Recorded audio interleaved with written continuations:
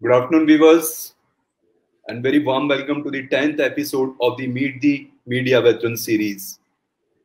Today, in the episode, we have a national award winning filmmaker, archivist, and restorer who passionately believes in the cause of film preservation and restoration. And he has taken film preservation as a mission. So before presenting his full introduction, may I first welcome the renowned filmmaker film preservationist and archivist, Mr. Shiven Singh Dungarpur to the show. Thank you, Rizwanji. Thank you for inviting me. Thank you so much, Shivenji, for joining us today. Shiven Singh Dungarpur is the founder director of Film Heritage Foundation and is an award-winning filmmaker, archivist, and restorer who passionately believes in the cause of film preservation and restoration, and is a uniquely qualified to head the foundation. His first documentary, Celluloid Man, pays tribute to the India's legendary archivist, Mr. P.K. Nair, while celebrating the history of Indian cinema and making a fervent plea for its preservation and restoration. His second documentary, The Immortals, told the story of Indian cinema through the visual exploration of physical artifacts, person spaces, and living memoirs. Shivendra has collected on two world-class restoration projects with none other than Martin Scorsese's World Cinema Foundation Uday Shankar's classic film Kalpana, and eminent Sri Lankan filmmaker Dr. Lester James Peries's film Nidhanaya, that premiered at the Cannes Film Festival in 2012 and Venice Film Festival in 2013. He was a donor for the restoration of Hitchcock's silent film The Lodger that was done by the British Film Institute. He has been invited to be, to be a member of the artistic committee of the Cinema Ritrovato Film Festival in Bologna. That includes, amongst others, the legends like Alexander Payne, Thelma Schoonmaker, Jonathan Rosenbaum, John Douchet, Aki, Aki Kaurismäki, Peter Becker, and Kevin Brownlow. He is also a member of the honorary committee of the Nitrate Picture Show George Eastman House's Festival of Film Conservation. In 2017, Shivendra was elected to the executive committee of FIAF at 2017 FIAF Congress hosted by the Academy of Motion Picture Arts and Sciences in Los Angeles. In 2018, Shivendra completed his third documentary on renowned Czech filmmaker Jiří Menzel and the Czech New Wave. He has also directed and produced over 600 commercials, short films, documentaries under the banner of Dungarpur Films, one of the most reputed production houses in the country. May I now invite Mr. Shiven Singh Dungarpur to kindly deliver his talk on Indian film heritage. Thank you, Rizwan. Well, I think when we talk about Indian film heritage, especially in today's context, uh, when we are going through one of the major crises, uh, the pandemic, as we are seeing today. And I think it's very important that we make it relevant to today what is happening, uh, because pandemic is going to have a huge impact on all archives, all museums, not only in India but all over the world, and primarily most of the money which used to get streamlined for arts and culture is suddenly going to take a backseat. And, and you will see that many, many uh, archives and museums will find it very difficult to survive the pandemic. Uh, survived the whole idea of physically going and seeing a museum. To me, there is nothing more important than to visit a museum, to visit an archive, to physically see the object, physically see a painting, uh, or physically see an artifact. It is the same way when you are in a movie theater and you enjoy the experience of watching a film because watching a film is a community driven exercise. It's it's you meet your friends, you, you eat popcorns, you share the experience of, of watching a film. You, you, there is a there is this great feeling that during Ramzan you, you share your food. Uh, to me, filmmaking is like a Ramzan, you know. Uh, film watching is like a Ramzan, that you, you come together, you share your food, you celebrate the occasion. uh, films cannot be watched uh, sitting back at home. They were not made or they were not created. I mean, when the early cinema or Chaplin created these movements. And the whole idea of uh, saving this heritage was precisely that, so that it is available to the generations to come after us uh, to be able to experience that that sort of feeling and experience the the excitement of watching the film. Now, when we look at India's cinematic heritage, uh, we're looking at uh, something like nearly 10 film industries. You know, we produce about 2,000 films a year, approximately. Um, and we have something like 36 languages and so many dialects uh, that there are certain languages people wouldn't have heard of also. So just imagine that over the period of time, since we became the largest producing filmmaking nation, how difficult it is to preserve this vast heritage um, and, and in what ways we can preserve it. And the National Film Archive in Pune, which was created in 1964, was the first institution which was built by the government under the leadership of P.K. Nair. The primary goal of that archive was to preserve films. Uh, and, and they would invariably come in the form of films which were shown at the national awards or which used to come for censor. Those films were then sent off to uh, the NFAI and was preserved. Now, when NFAI was started in 64, the statistics clearly show that we had lost nearly 70 to 80% of our heritage by then. If you really look at the, the era of silent films, you know, it's interesting when people say silent films, because films were never silent. Even in the silent era, uh, you had a musician playing music uh, in the theaters. You know, every cinema hall will have different musicians and different set of people. And it depended on you because if I'm running a cinema hall, I'll, I'll have three musicians, harmonium, uh, and a percussionist or, or, or whatever I could I could gather what I could afford at the cinema hall. And notations would come from a filmmaker. And then you would you would adapt that. So films were never silent. We call it silent because there was no talking in the film. But but uh, as a film medium, there was always uh, somebody playing music. And if you look at the statistics, we have lost nearly 99% of our silent films.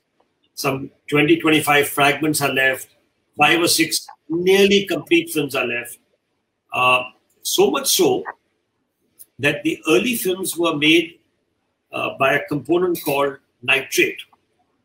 And, you know, if you see film reel, uh, which you many of you would have not seen, but in the olden days, as I would call it, everything was shot on film till 2014. Right. 2014 is the really the exist exists exit, I would call it, of uh, of where the censor board says 2014 was the last few films they censored. Uh, so if you look at that, the early films before 1951 was made on nitrate. And nitrate was very highly flammable. You know, it used to catch fire. So much so that there's a controversy with Raja Harishchandra. The first ever film, feature film, made by Dadasaheb Phalke in 1930. And what really happened in that film is it's, it's a four reel film, but we only have the first and the last reel. We have lost the second and the third reel.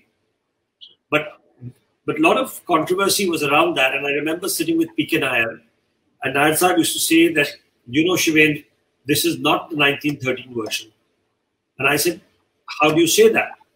And it was very interesting because he said he showed me the film, but I'll come to that story. But but what really happened to the 1913 version was that Phalke used to take the films on his bullock cart because the film was shot in Nasik.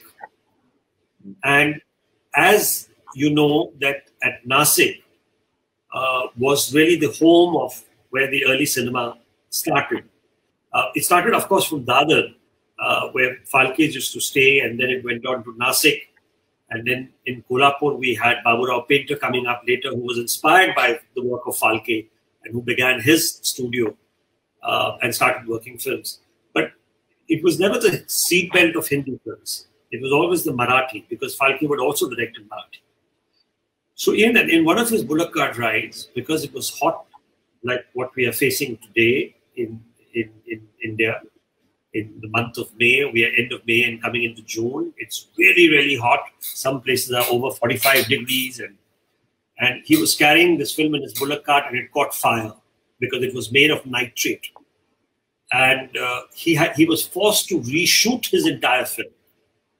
And in his first version, 1913, there were men acting as women because there were no women ready to do those roles. And you had one of the cooks, A. Salunke, who was, uh, you know, Phalke writes that he saw him in a restaurant and he had very feminine features and he casted him in the film. And uh, that became the first ever film, uh, which, which 1913. But the version which we have uh, has a few women in the film. And, and that's why Nair Saab, through his diaries and thing, could figure out that probably the version we have uh, is, is not the 1913 but the 1918 version. And that also we have only two days. But what was sad was that, that the early filmmakers never thought of preserving any bit of it. That's why we lost 99% of the films. And then 1931, the first talkie came in, and uh, which was Alam Ara. And it was such an important film because it was the first talkie made by Ardeshir Irani. It had stalwarts like Prithviraj Kapoor, Master Vitthal, uh, Zubeida, W.M. Khan, who sang the first song, Dede Khuda Ke Naam.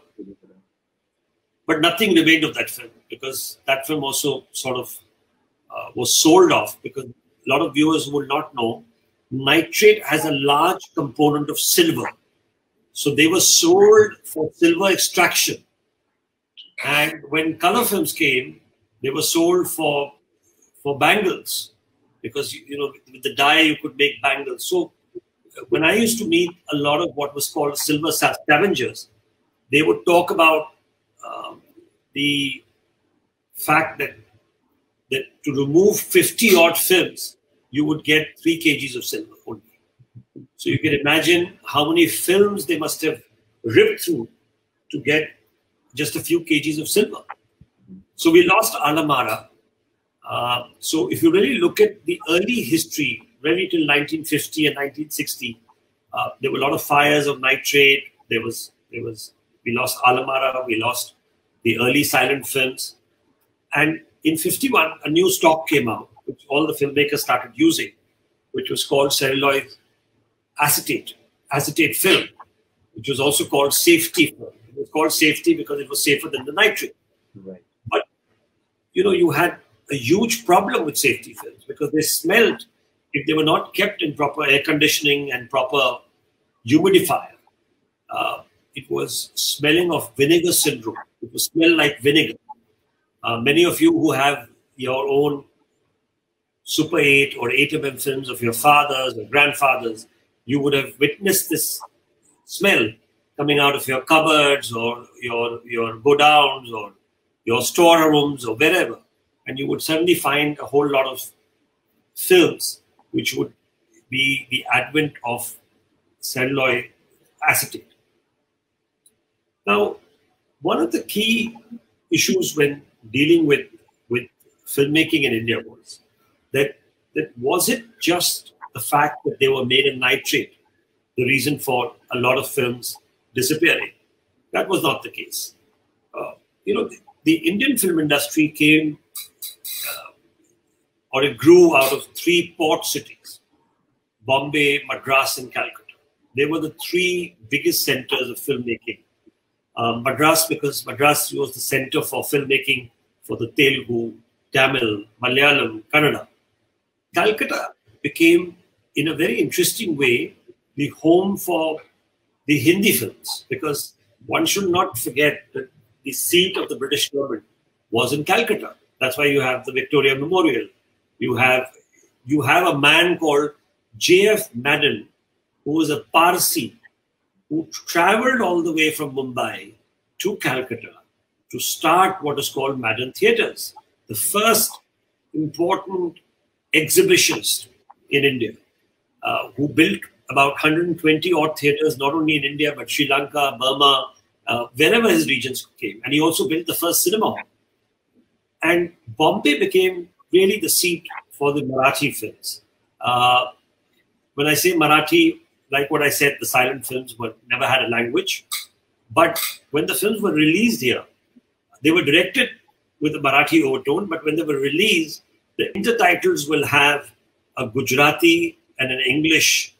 Um, and uh, and by intertitles, I mean if you all have seen a Chaplin film or, a, or an early film, you will see suddenly uh, after a scene, you will see a reaction or you'll see a dialogue written on a black screen and it'll come. And, and that was the intertitles which were which was common thread where the whole hall will be silent and suddenly the intertitle will come and everybody will start reading and you'll hear the murmur of people reading, you know. And it, it was fascinating, I think, how film was perceived in the dark room with the rays of light and, and, and the way they were able to watch films. So the filmmaking started in these port cities. And I think most of the producers never really thought that they had the, they, they thought of that till we can make money out of this film, if a film is not done well, let's give it for silver extraction.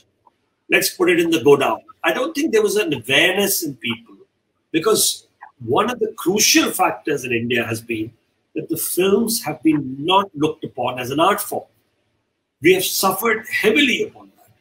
Films have been looked upon as an entertainment, as, as something which is cheap entertainment, providing entertaining to a lower strata of people, people with low IQs.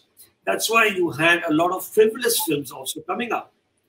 And this mindset, and a very interesting factor, that Gandhiji never really cared for films. And I, I chanced upon a letter by one of the great script writers and, and uh, a great writer who I admired deeply, Khwaja Ahmed Abbas, K. Abbas, as he knows. K. Abbas was the writer for many of the Raj Kapoor films like Awara, but also he, he became famous because he made the first film with Amitabh Bachchan, Saat Hindustani, which he directed. A man from IPTA uh, with, with, with, with left leanings, somebody who was a major factor in right from the 50s to the 70s. Uh, he wrote an open letter to Gandhiji, and uh, he very clearly said that that what you regard as an evil is perhaps something which you've not been exposed to the kind of cinema like Neecha Nagar and other films which are which are talking about realism and socialistic issues and other things. Probably he was seeing some frivolous films which which made up his mind that cinema has to be looked upon as a social evil like gambling, satyabazi, or horse trading or horse racing, all kind of things.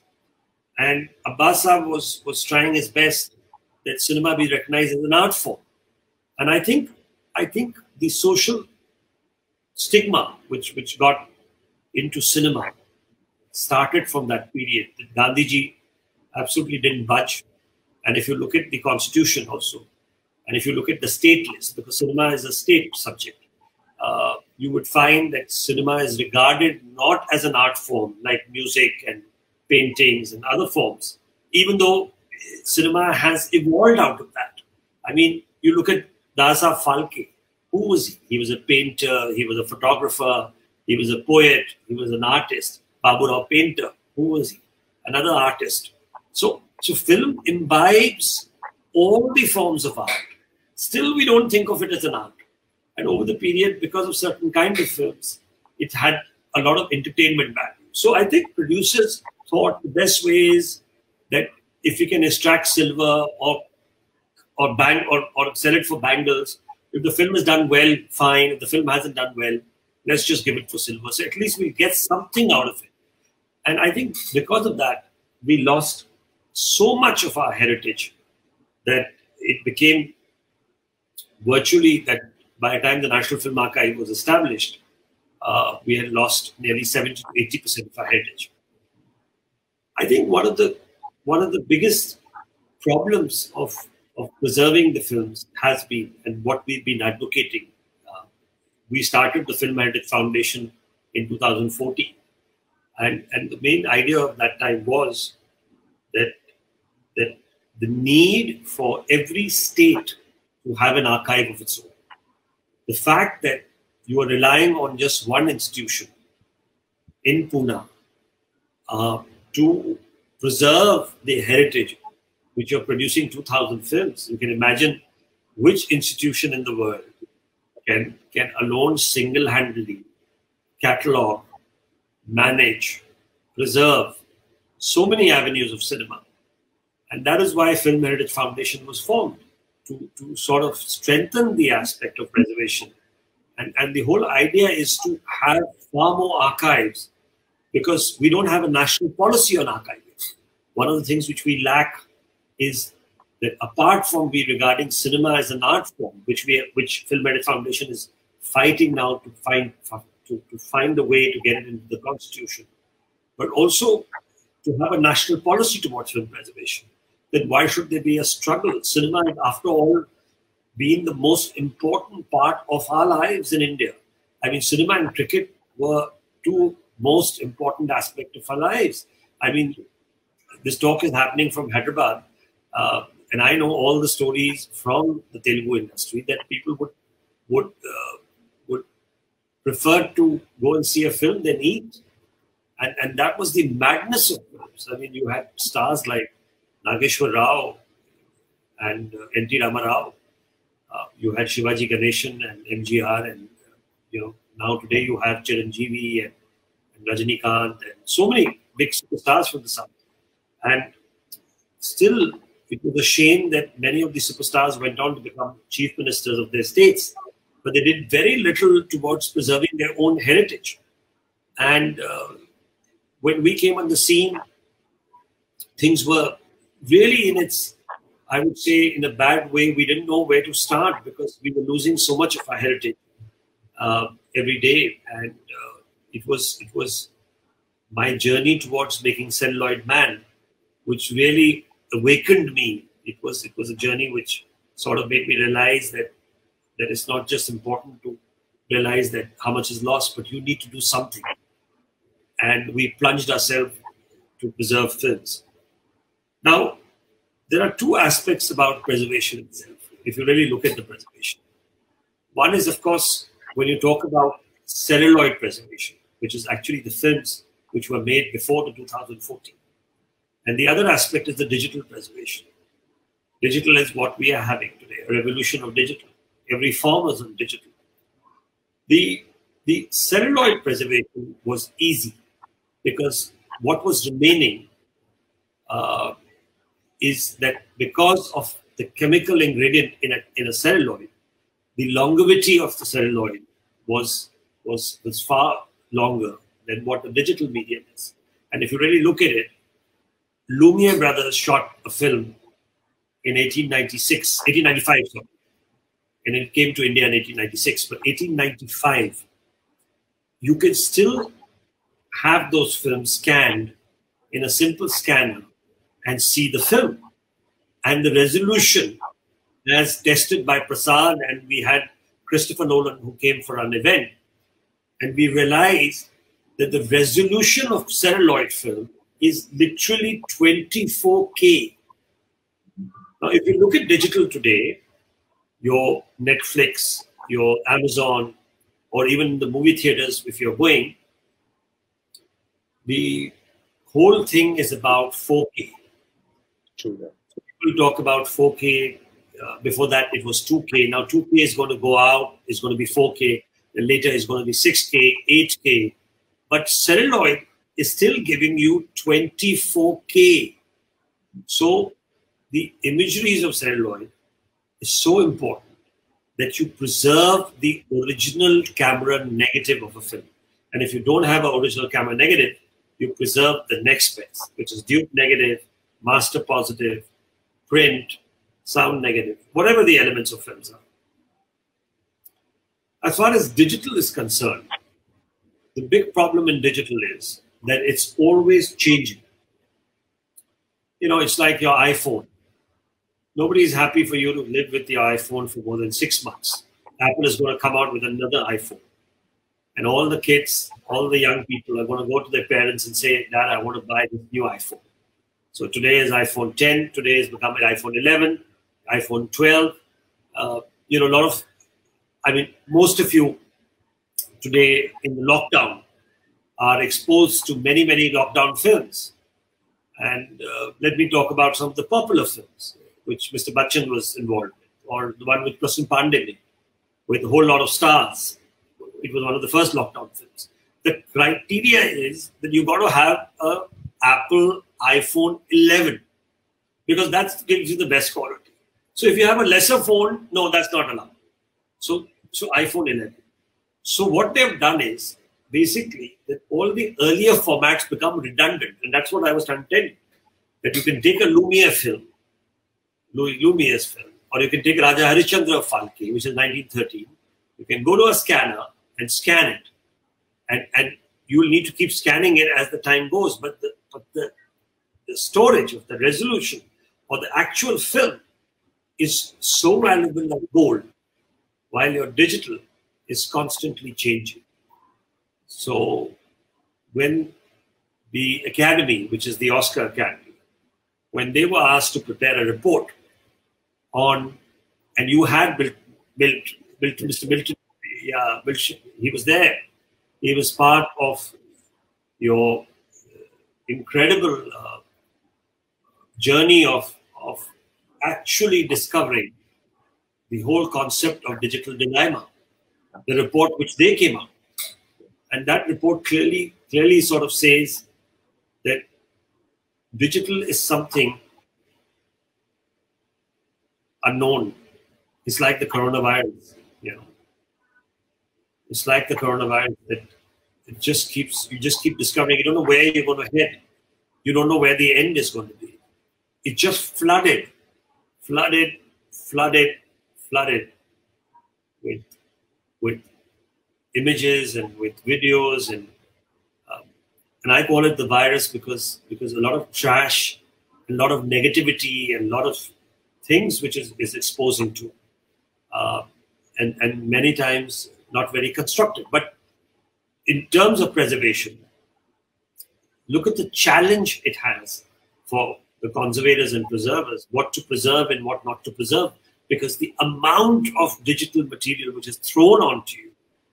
Uh, I had the statistics. I, I, I don't want to, you know, just give you statistics because they've become numbers um, and they have no consequence in that sense.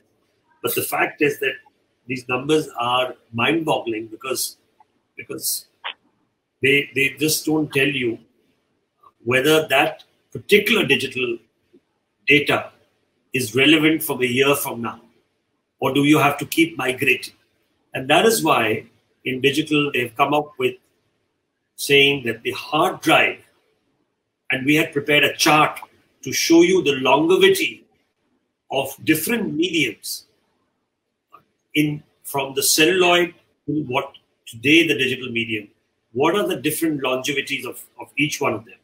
And it's quite sad and shocking that if you look at it, that hard drive can last you only three to five years. And that also you're not sure because you need to back it up in two hard drives.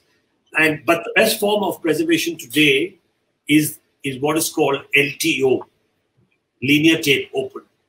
Most of the studios, most of the filmmakers, producers, um, most of the telecast broadcasters are using this, this medium of its easy migratory aspects. LTO means linear tape open. and you're able to migrate your data at a more convenient way. Uh, but that also, there's a catch to it. What is interesting is that I've been always saying about the heavy consumerism which, which we all live in.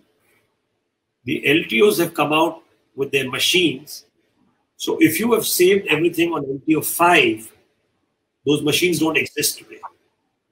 So you'll have to migrate every time a new LTO comes so that, so look at the expenditure in digital, you have to undertake to continuously be in that process of preservation and what is called accessibility so that you and I can access material from archives.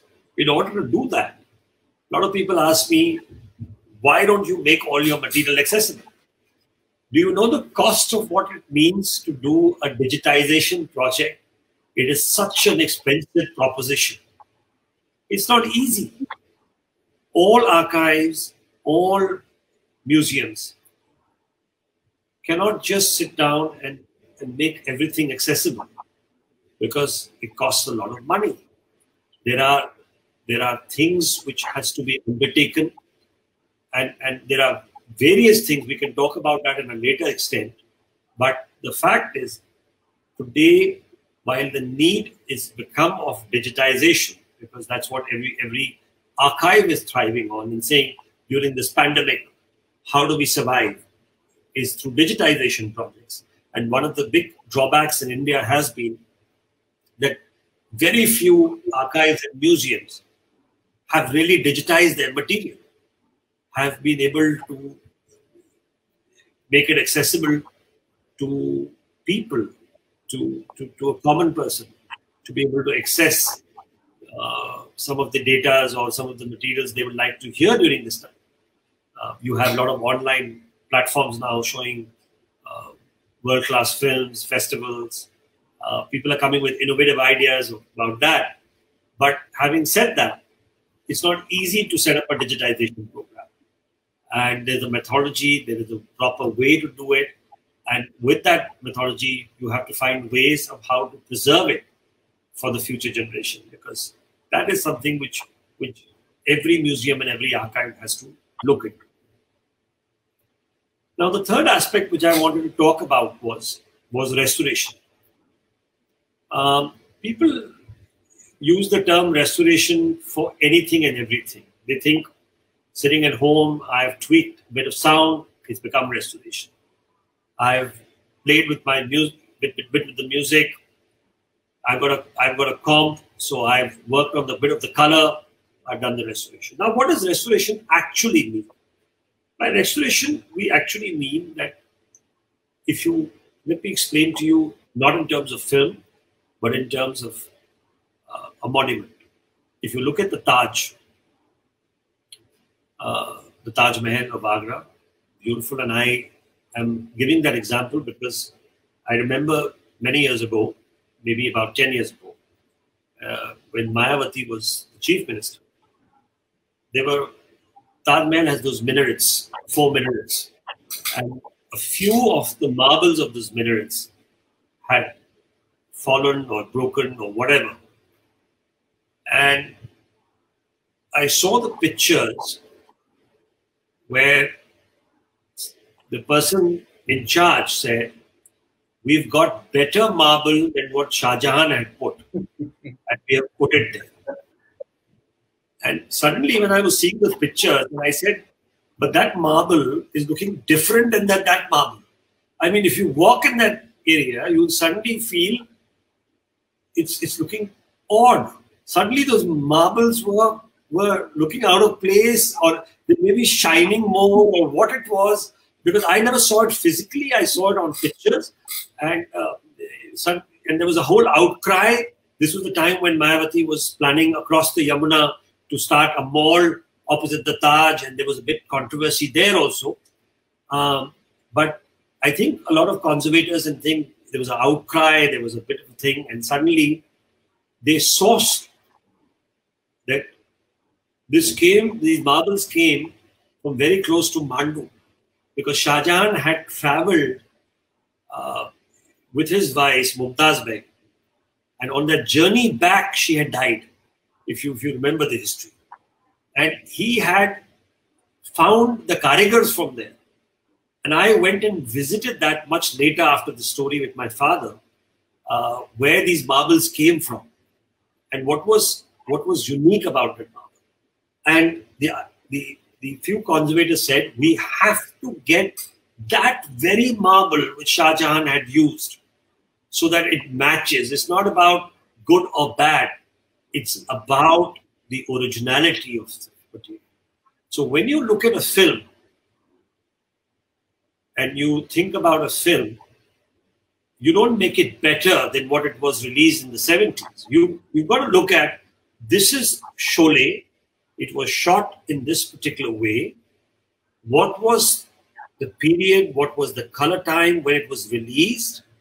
And how am I going to make it look exactly the same? I don't make it look better or recolor it or repolish it. It's like saying that a Van Gogh's painting of sunflower, the yellow painting, I have now got, you know, I've seen it enough times. Can we just make it blue? So what with Van Gogh did it?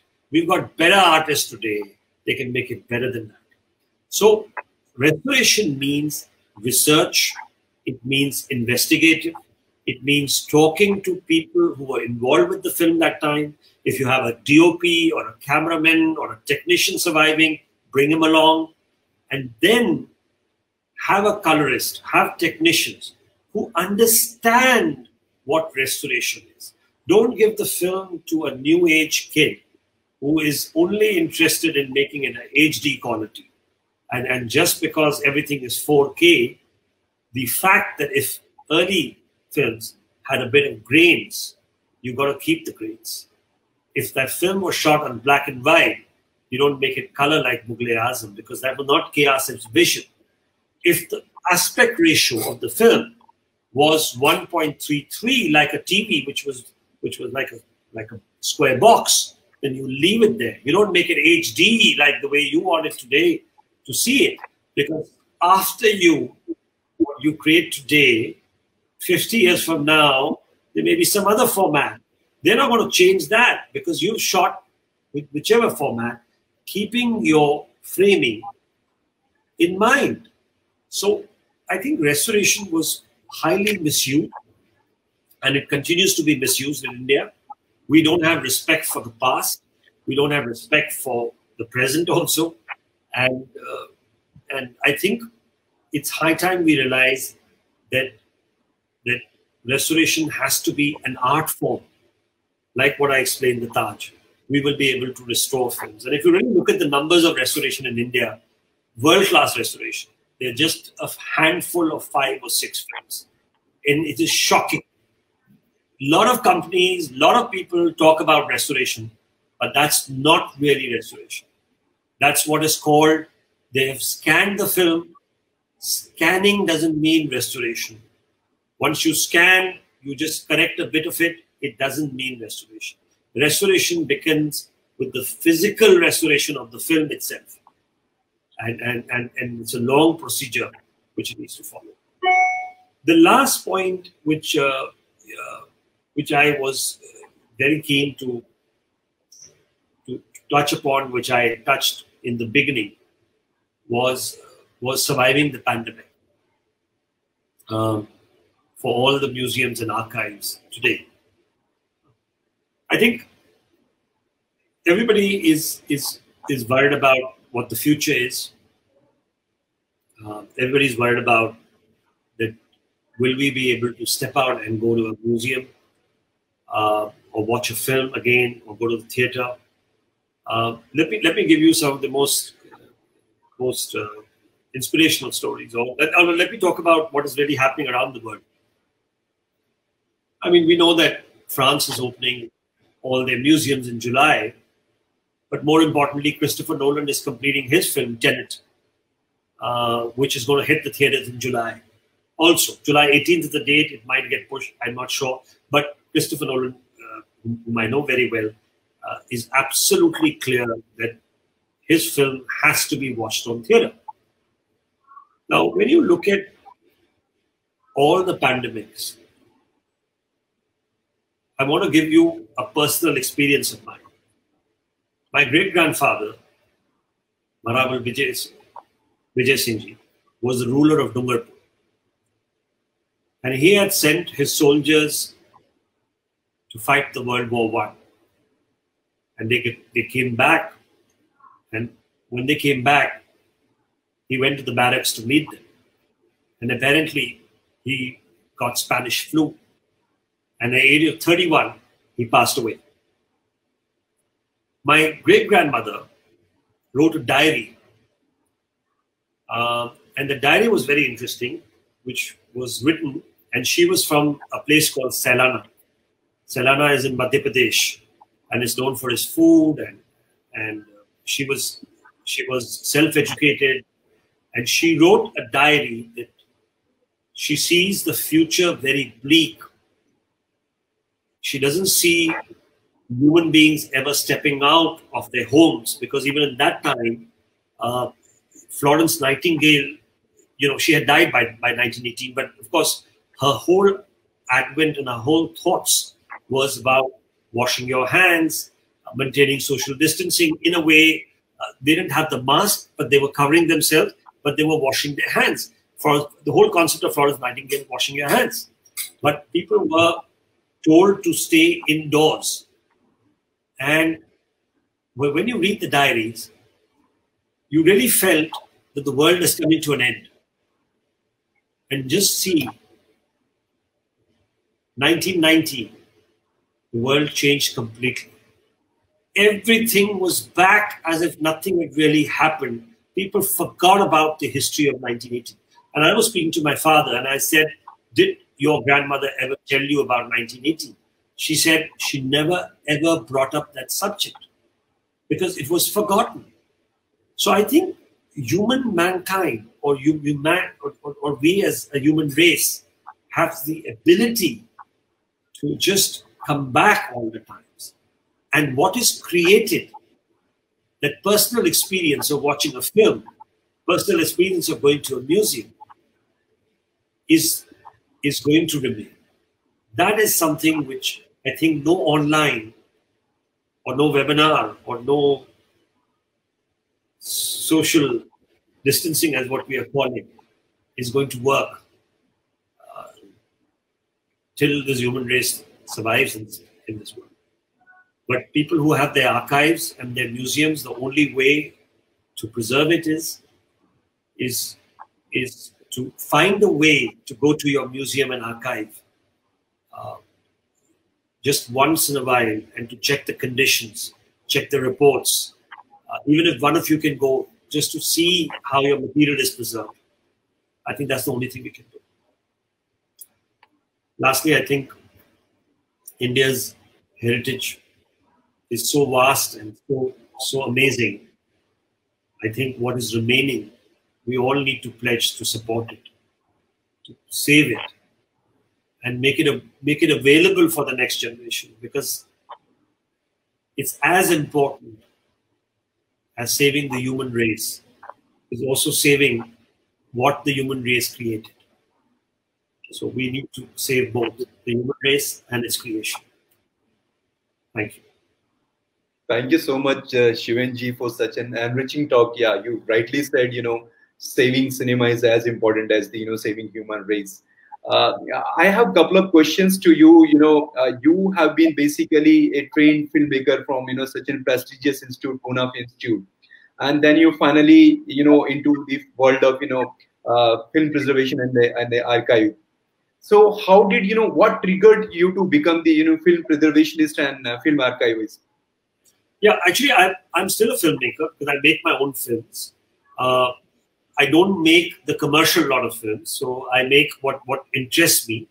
Uh, but also, I run a very successful ad ad filmmaking. I've made I've directed over 800 commercials, 800 films about ad films. So I'm constantly making films. I think the inspiration came from Scorsese who's been a big supporter of mine, big supporter of the foundation. Uh, and if you really look at it, he is a filmmaker, but he also heads a foundation. His foundation is called the Film Foundation. And uh, I think the responsibility of every filmmaker is that the filmmakers we have seen and we have been inspired how not only their work but our works will survive the next generation.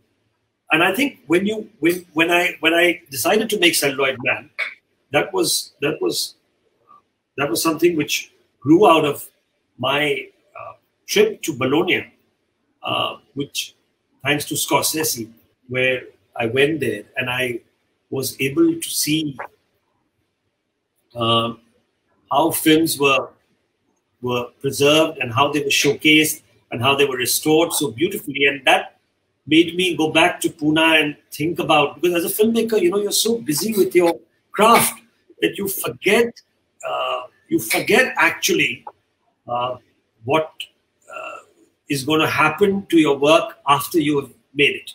You move on to a next project.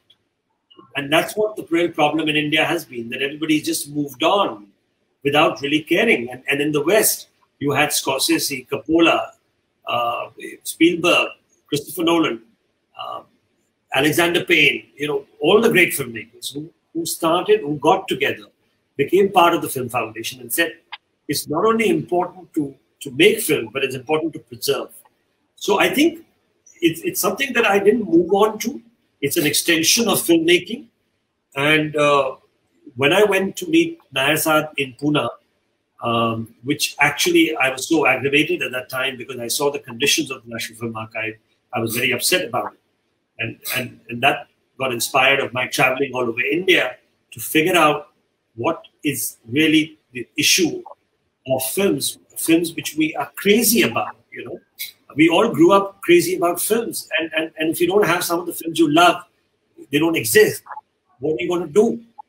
And, and that journey actually changed my view of life.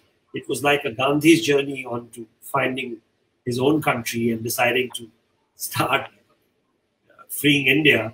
It was my journey, cinema journey to all over, in fact, all over India, to really find what is lost and what needs to be done. And I think the foundation grew out of that. But in foundation is an extension of my filmmaking.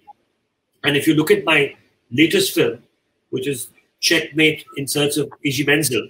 It's a, it's a seven hour long film. Uh, it has a lot of footages also. It deals with the Czech New Wave, one of the most important movements in the history of cinema, which inspired so many Indians. I mean, I remember Kundan Shah, Basu Chatterjee, the whole lot of 70s New Wave filmmakers telling me that it was the Czech filmmakers which inspired me. And, and if I have to look back at that, it was my education at the FTI where I saw those films, which Saab showed us, which made me travel to Prague. For eight years, I was making this film, which is finally releasing on a Blu-ray uh, on July 13th in London. Second run DVD releasing it. If you go to our Facebook, checkmate in search of Jiří Menzel or Jerry Menzel, as we call him, you can you can check out the release of the film. So Again, something which I've used out of archiving is, is the number of clips and number of footage which I've used, uh, not only from India, but, but from Czechoslovakia, from England, from USA. So it just goes that, that filmmaking and archiving is sort of part of the same thing. It just depends on certain filmmakers how interested and passionate they are to it. To me, I can't see them segregated. And I always think about uh, preservation as equal important as archiving, as, as filmmaking. Sorry. So, see, we all look forward to your new film, uh, Checkmate. I'm sure you know, it's going to be an interesting film. Uh, now we have you know a couple of questions from audience as well. Uh, first of all, Ajit Rai he says, "Welcome, Shivendra Singh Dungarpur. Your film on PK Nair was super." Thank you, Ajit. Thank you very much. Uh, then we have, yeah, yeah, you you were saying something. You know, I never thought I'll make a film. It, again, it was a journey, and uh, I had to complete it. It was never none of my films are ever thought as as films. They evolve, and that is what I like about myself. In that sense, is that I like to keep myself organic. I never like to have a beginning or an end. I don't believe in that concept of beginning and end. you get inspired, you, you move along, you, something conceives, uh, what, what comes out of it as time only tells you, and, and, and then organically you just say, okay, this is fine, now let's leave it here. Duration never matters to me. In order to do this, you have to work uh, not in the commercial streams. Uh, when you work in the commercial streams, uh, which I do when I make my ad films, the restraints are of different kind. People telling you have a beginning, have an end, have a middle, uh, have this, have that. And I think I like to refrain myself from that. That's important as an artist, uh, how you free yourself uh, all the time, because that's what keeps you going. And that's what you know uh, makes your films very very interesting you know and then celluloid men especially remains to be a classic you know especially for the film students and the, the viewers as well. Uh, now we have uh, another question from mr siddiq azad. He says uh, the students who just passed out how can he or she start a career in film industry where and how they will get an internship yeah i, I think i think this is a very important question which which Mr. Siddiqui has raised, uh, I get a lot of mails from people asking me to intern with them. Uh, and I was thinking about a whole lot of students who are finishing, whether it's from FTI or from various film schools, you know, across India. Because when I was a student, there was only FTI, or and no, sorry, there was Adyar also. Adyar had a film school in, in Chennai, but there wasn't uh, too many film schools. Now, uh, not only film schools, but media schools or whatever you call them. In Hyderabad itself, you have so many of them. Um, so I think at this moment, because no internship can be done through online, because that kind of internship is is is is not internship. Internship, at least in the media or in the filmmaking, there, is, there has to be a, a physicality to it.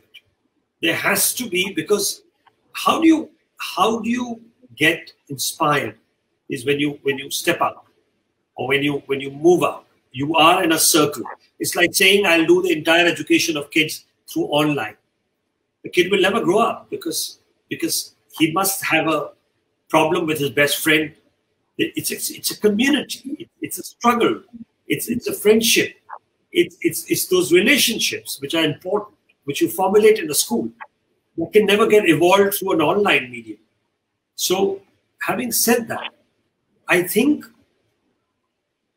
most people are very unsure at this moment of what is opening and what is not opening. Uh, Maharashtra hasn't opened up. Telangana hasn't opened up as far as the film. There's a lot of dialogue happening. A lot of committees have been formed which is discussing the various ways of people to shoot or intern or think. People at this moment are going to take a little precautionary measure of having more and more people in their unit. But it is only a temporary solution. I think by the time of July, uh, it would be very easy. Uh, more and more people will open out and you could write to various people. I'm always open to take interns, but I can also refer Ridwanji to various people. Uh, if you want, we can have a separate dialogue, with Ridwanji, for a lot of people whom you would like to recommend. I could help uh, in recommending a lot of people to people who want to intern in Hyderabad because many of you may not want to travel all the way to Bombay, people who want to intern in different portions. What needs to be done is and which is what we can do. And I think somewhere, Ranji, if we can all formulate this thing, that we get the FTI director on board, we get other institutions on board, that I can help to set up where the students are, the very place itself, talk to various institutions or directors or whoever they would like to work with, and speak to them and see what the possibilities are. So I think we can work that system uh, it's not going to be difficult. And uh, if we work constructively together, uh, I can certainly help Mr. Siddiqui and other students who will be very worried about losing time. Uh, but people who want to be young filmmakers, people who want to uh, who want to follow the media line, I would only advise you watch a lot of films, read a lot, and and inspire yourself. If you read Kurosawa, something like an autobiography, uh, he writes in his last few pages that every day he would write a page about a script or a thought. Uh, so write that.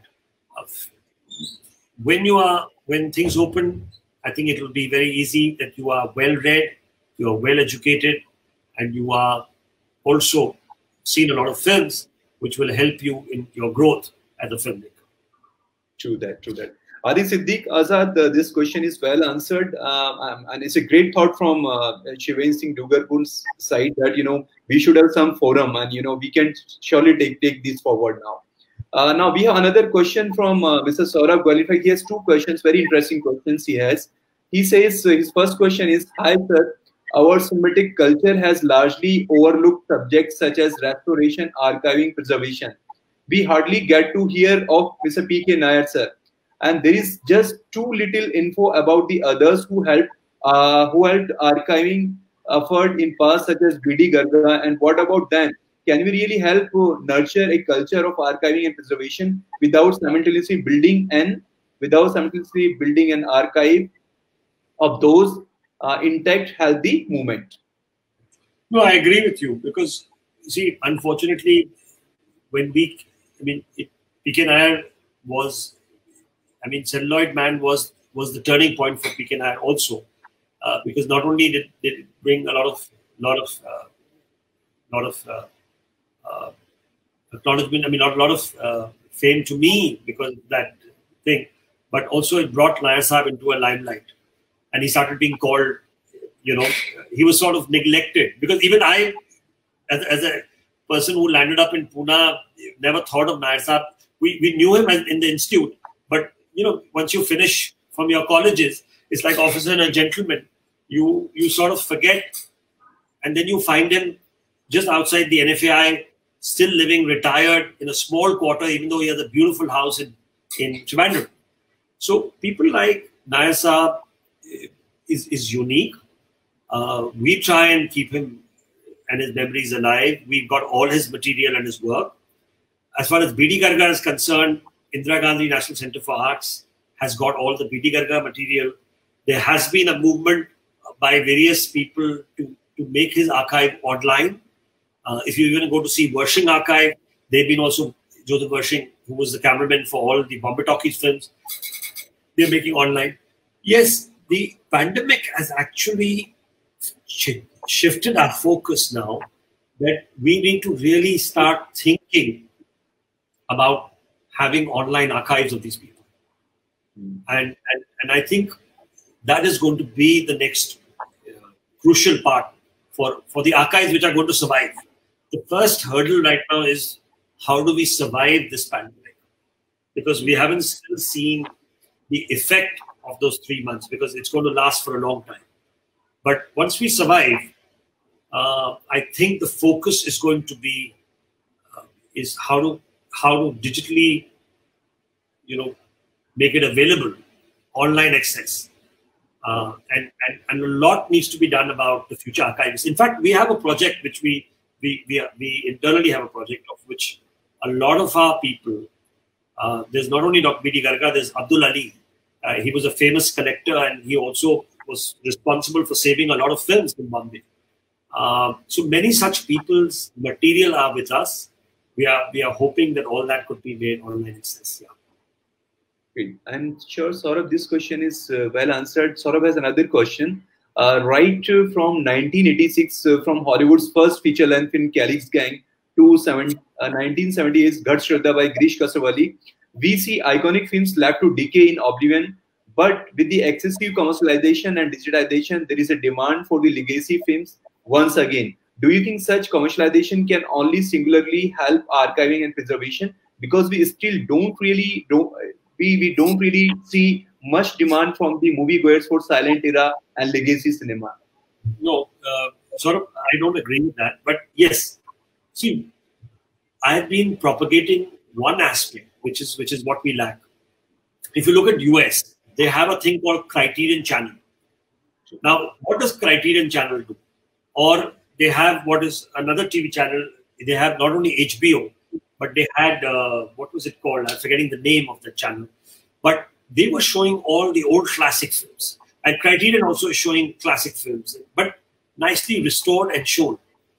Now, if you look at India, there's not a single platform which is restoring and showing them. You have this horrible YouTube, which which half the films you don't feel like watching because they're in such bad shape.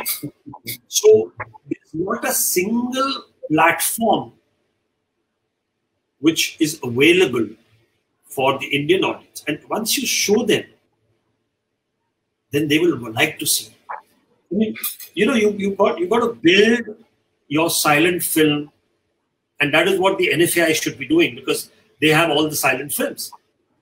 They should provide, restore them, and provide online access to it. True that. So, so that I'm sure uh, the NFAI would be thinking about this, uh, and they would be working on. You know, everybody is thinking during this pandemic about these issues, but apart from those silent era films, I think the whole history of Indian cinema, if you really look at it, I mean, I want to see Nasir Hussain films. I want to see Goldie Anand films. Where do I see it? I don't have any platform to see it. Neither do I have good negatives of it. Neither do I have platform because nobody has cared. Nobody has cared to look after these films. True that. Uh, so uh, we have you know uh, two questions related to the you know courses on uh, preservation. Uh, first question is from Mr. Shakil Ahmad. He says, "Sir, do you have any plan to introduce uh, film archive courses? At least one subject studies in postgraduate or masters, something like that, because they don't have they don't see much course on the film preservation." Shakil, we we did five film preservation workshops, major workshops. if you go to our Film Heritage Foundation website or our Film Heritage Foundation Facebook, you will see that we've conducted, uh, and Rizwan Sahab was also part of the last workshop which we did in Hyderabad.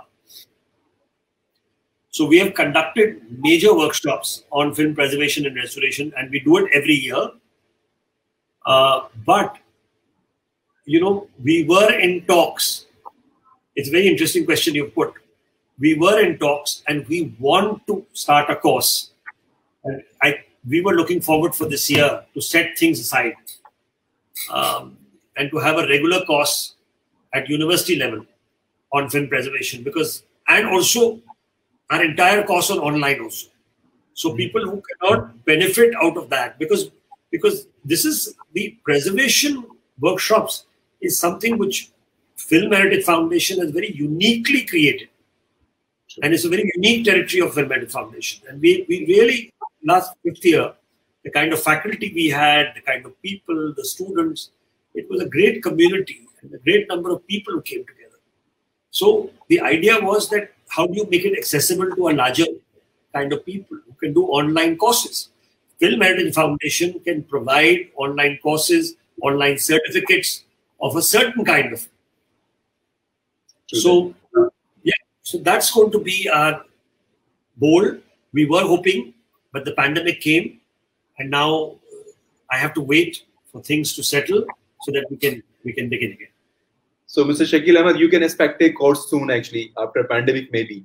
Uh, so, we have another question from uh, Saurabh Goyal. He says earlier 8mm and 16mm films uh, were often used by the amateur and independent filmmakers, which are now replaced by this economy of DSLRs. So, is there a possibility that Celluloid will make a comeback at elementary filmmaking? Well, it's an interesting thing you brought up Super 8 or 8mm. A lot of people are shooting their lockdown films. I I have been shooting my film, uh, and uh,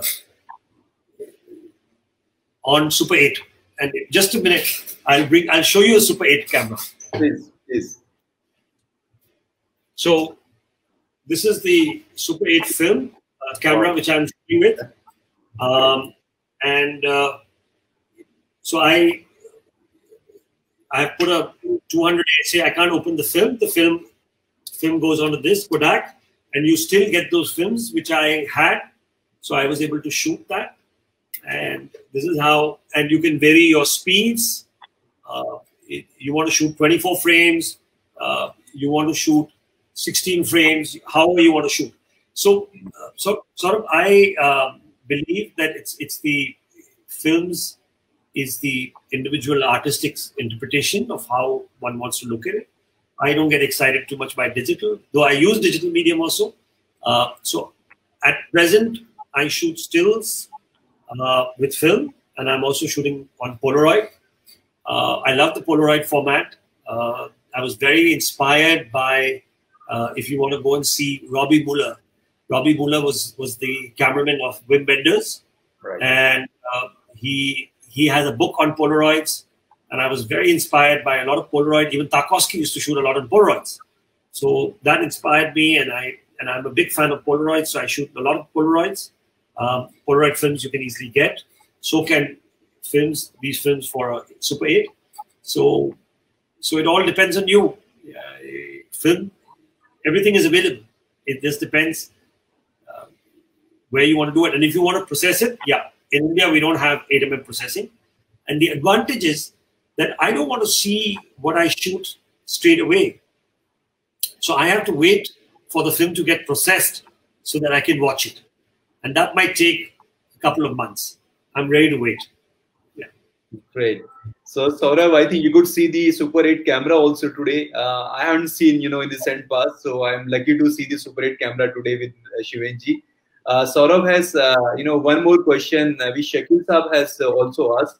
Such, uh, you know, uh, how do you envisage the future of film preservation studies and curriculum in India in post-COVID world? uh, will we continue to will we continue to have you know FPRWI workshops and have an inclusive film preservation studies in Indian universities going ahead? I think Shivenji has answered that question. I've already. Yeah. Yes. So Siddiq Azad is uh, having a you know question. He says, "Sir, regarding the storytelling, uh, Akira Kurosawa's Rashomon techniques, how much uh, credible nowadays?"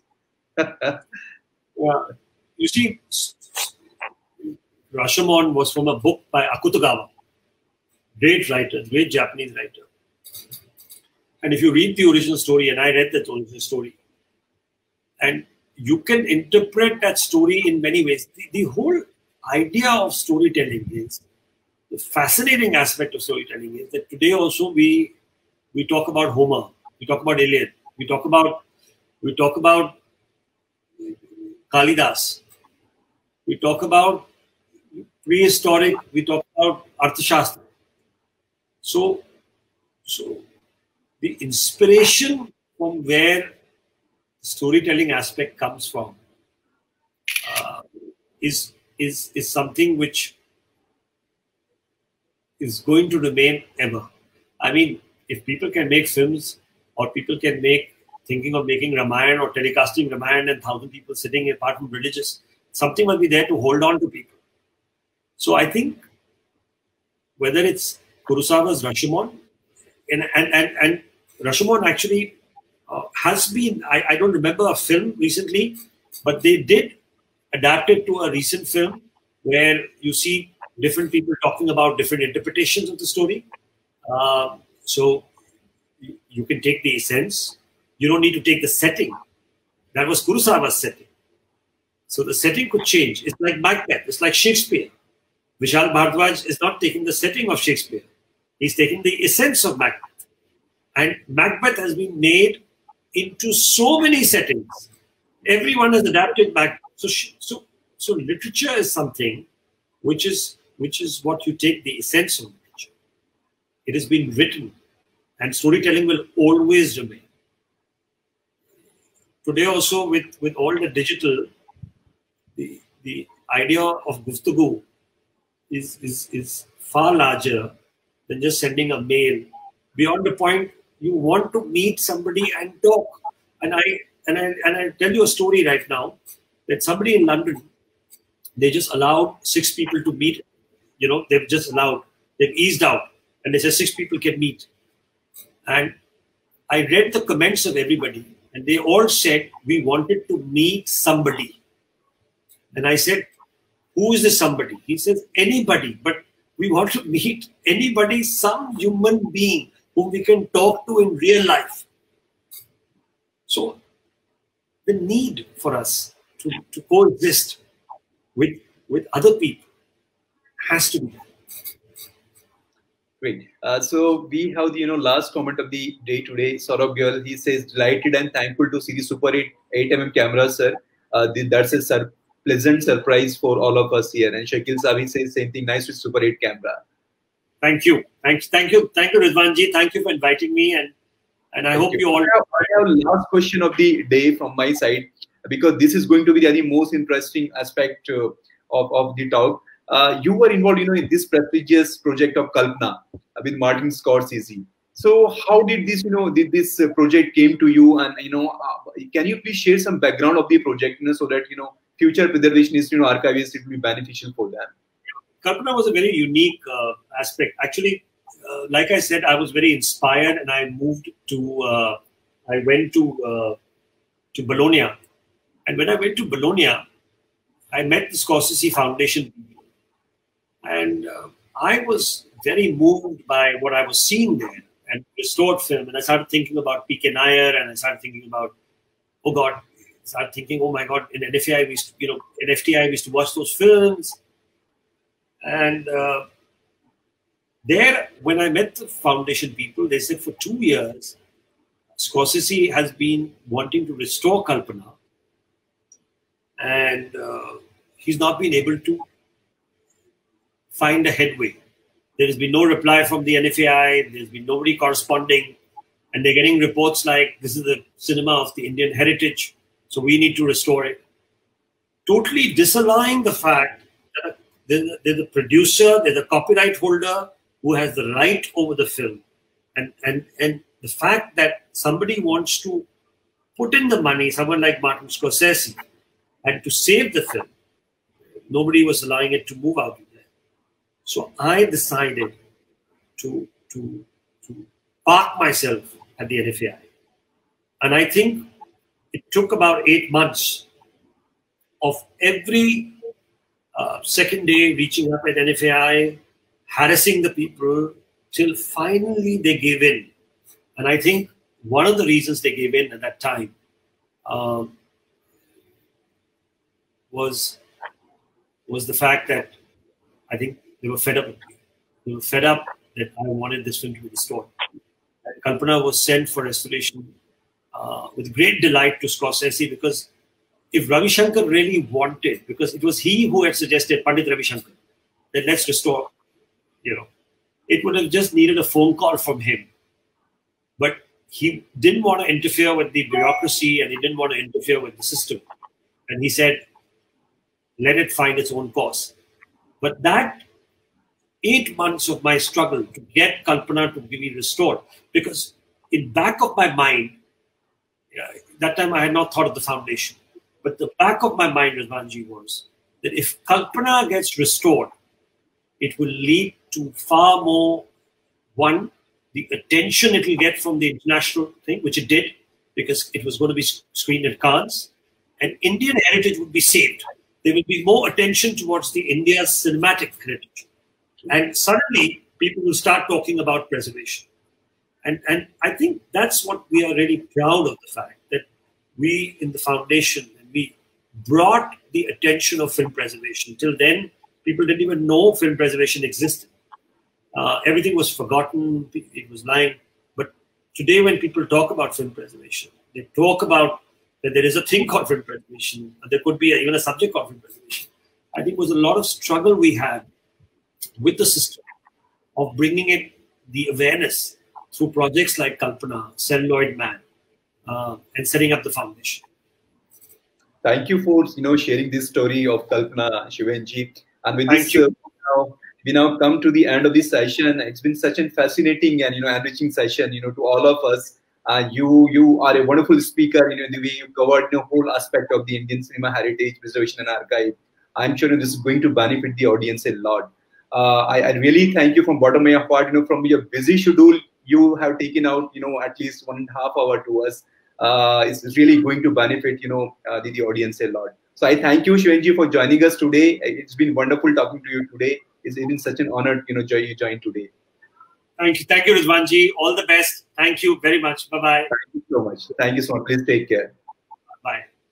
Thank you. Uh, so with this, we come to the end of the session uh, of, of, this show today. Uh, tomorrow, uh, we have two shows uh, at 11.30 and another one is at 3 o'clock. So 11.30 uh, will be joined by, you know, two national award-winning filmmaker, Mr. Nandan Saxena and Kavita Bahl. They'll be sharing their journey to the documentary filmmaking and many more. Uh, and three o'clock, you know, we will be joined by a, a very eminent uh, cinematographer from uh, Britain, uh, Mr. Dick Pope. He has been, uh, you know, nominated twice for the Oscar Awards. So I'll recommend, you know, all of you should attend both these sessions at 11:30 and 3 o'clock. You know, these are going to be very, very interesting session tomorrow. So till then, I say goodbye to all of you. Please take care. Thank you so much for joining us today.